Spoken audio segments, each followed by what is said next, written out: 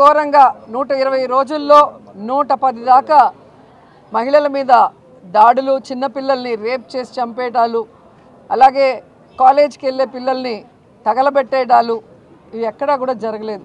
గతంలో ఎప్పుడో మా చిన్నప్పుడు బీహార్లో ఇలా జరిగేదని చెప్పుకునేవాళ్ళు. ఇప్పుడు ఏపీలో జరుగుతుందని అందరూ చెప్పుకుంటుంటే చాలా బాధేస్తుంది. అండ్ ఈరోజు ముఖ్యంగా మీరు చూస్తే మా సొంత నియోజకవర్గం బాక్రాపేటలో నేను పుట్టానని మీ అందరికీ తెలుసు. ఎలమందలో మా అత్తగారు వాళ్ళ అబ్బాయి అక్కడ ఉన్నారని కూడా మీ అందరికీ తెలుసు. సో ఒక అమ్మాయిని కొత్త హరిజనవాడ అమ్మాయిని స్కూల్ నుంచి వచ్చే దారిలో మత్తు మందు తాగించి అమ్మాయిని కొట్టి కత్తితో దాడి చేసి గుట్టల్లో పడేస్తే ఈరోజు సీఎం గారి సొంత జిల్లాలో వరుసగా ఇవి జరుగుతుంటే పవన్ కళ్యాణ్ ఎక్కడ? సీఎం పోస్ట్ నాకు ఇవ్వండి నేను చేస్తాను. నీకు చేత కాలేదంటాడని భయంతో ఈరోజు ఎస్పీని పోలీసుల్ని ఎలా ప్రెషర్ పెట్టారో చంద్రబాబు నాయుడు ఆయన కొడుకు అనేది మీరు గమనించాలి. నిన్న నైట్ ఇన్సిడెంట్ జరిగితే వెంటనే అమ్మాయిని హాస్పిటల్కి తీసుకురావాలి. చంద్ర చంద్రగిరి నియోజకవర్గం ఏ జిల్లాలో ఉందండి? తిరుపతి జిల్లాలో. కానీ తిరుపతి హాస్పిటల్కి తీసుకురావటానికి వాళ్ళకి మనసొప్పక పీలేరుకు తీసుకెళ్ళారు అన్నమయ్య జిల్లాకి. అది అక్కడ కుదరదని తెలిసిన తర్వాత లేటుగా అంటే ఎక్కడైనా రేప్ జరిగింది అన్న విషయాన్ని బయటికి తెలియనికూడదని ఎంత టైం లేటు చేయాలో అంత టైం లేటు చేసి ఇప్పుడు తీసుకొచ్చి ఇప్పుడు ఆ తల్లిదండ్రుల్ని ఆ అమ్మాయిని బెదిరించే కార్యక్రమం చేస్తూ నిన్న వాళ్ళ నాన్న మాట్లాడిన మాటలకి ఈరోజు మాట్లాడిన మాటలు చూస్తేనే ఆ తల్లిదండ్రుల మీద ఎంత ప్రెషర్ ఉందనేది నేను అర్థం చేసుకోగలను. అలాగే సుబ్బారాయుడు గారి మాటలు విన్న తర్వాత ఎస్పీ గారి మాటలు విన్న తర్వాత పోలీస్ ఆఫీసర్లకి ఎంత ప్రెషర్ ఉందో నేను అర్థం చేసుకోగలను. ఆ పోలీస్ వాళ్ళకి ఆ పోలీస్ వాళ్ళని ప్రెషర్ పెట్టే వాళ్ళకి నేను సూటిగా ఒకటే చెప్తున్నాను. జరిగిన తర్వాత పోలీసుల్ని ప్రెషర్ పెట్టి బాధితులకి అన్యాయం చేయాలని మీరు చూస్తే మేము చూస్తూ ఊరుకోం. ఇలాంటి ఘటనలు జరగకుండా చూసుకోవాల్సిన బాధ్యత అధికారంలో ఉన్న మీకుంది. అవి జరగకుండా చూసుకోమనే మీకు చెప్పడం కూడా జరుగుతుంది. ఐదు నెలల కాలం అయిపోయింది.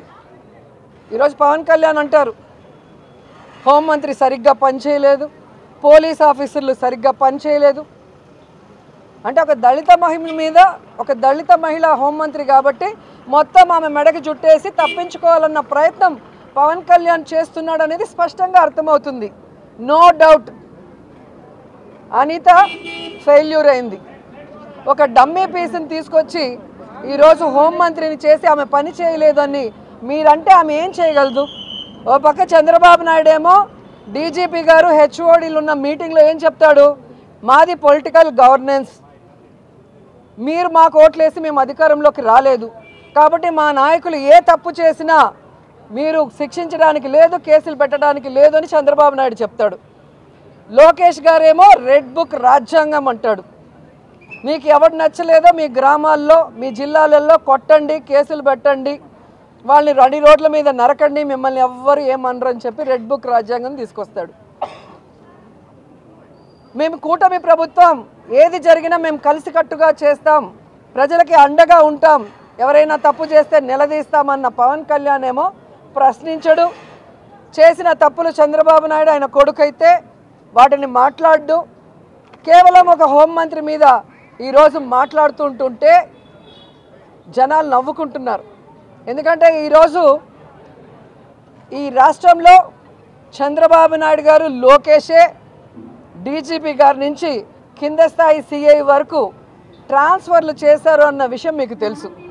అలాగే గత ప్రభుత్వంలో బాగా పనిచేసి ఇలాంటి ఆడపిల్లల మీద అఘాయిత్యాలని కంట్రోల్ చేసి దిశ యాప్ ద్వారా దిశ పోలీస్ స్టేషన్ల ద్వారా నైట్లో పోలీసులకి రక్షణ కల్పించే విధంగా వెహికల్స్ ఇచ్చి ఎక్కడ ఇవి జరగకుండా చూసుకున్న వాళ్ళని వైఎస్ఆర్సీపీ అని ముద్ర వేసి పక్కన పెట్టేసి మీ వాళ్ళు మీరు చెప్పినట్టుగా ఆడే వాళ్ళని మీరే ట్రాన్స్ఫర్లు చేసుకొని ఈరోజు వాళ్ళు సరిగ్గా పని చేయలేదని వాళ్ళ మీద వాళ్ళతో పని చేయించలేదని అనిత మీద తోసేయడం ఎంతవరకు కరెక్ట్ అని నేను అడుగుతున్నాను. ఈరోజు అనంతపురంలో పోలీస్ ట్రైనింగ్ సెంటర్లో పాసింగ్ అవుట్ పరేడ్కి ఈరోజు నేను డీజీపీ గారు అదేవిధంగా ఇతర ప్రజాప్రతినిధులు అందరం కూడా ఇక్కడికి వచ్చి హాజరవడం జరిగింది. నిజంగా నిజంగా చాలా అదృష్టంగా భావించాలి. ఇటువంటి ఒక మహత్తరమైన కార్యక్రమంలో ఒక ఎస్ హోమ్ మినిస్టర్గా ఇక్కడికి వచ్చి నా విధులు నిర్వర్తించినందుకు అవకాశం కలుగజేసిన గౌరవ ముఖ్యమంత్రి గారు నారా చంద్రబాబు నాయుడు గారికి అదేవిధంగా ఎన్డీఏ లీడర్స్ అందరికీ కూడా ప్రత్యేకంగా నేను ధన్యవాదాలు తెలియజేసుకుంటున్నా. ఈరోజు ఇక్కడ ఇంచుమించుగా పన్నెండు మంది డిఎస్పీస్ ఈరోజు పాస్ అవుట్ ఇక్కడ నుండి పాసింగ్ అవుట్ పెరేడ్లో నుంచి ఈరోజు ట్రైనింగ్ ముగించుకొని వాళ్ళు డిస్ట్రిక్ట్స్కి వెళ్ళడం జరుగుతుంది. నిజంగా పోలీస్ డిపార్ట్మెంట్ అంటేనే ఒక చాలా గౌరవప్రదమైన department. Twenty four into seven job చేస్తూ ప్రజల తాలూకా మాన ప్రాణాల రక్షణే ధ్యేయంగా వాళ్ళు హ్యాపీగా ఉండాలని ఒకే ఒక ఆకాంక్షతో twenty four into seven job చేసే పరిస్థితి మనకందరికీ కనిపిస్తూ ఉంది. ఈరోజు ప్రభుత్వం ఎదురుగా ఇంచుమించుగా మూడు నాలుగు ఛాలెంజెస్ ఉన్నాయి.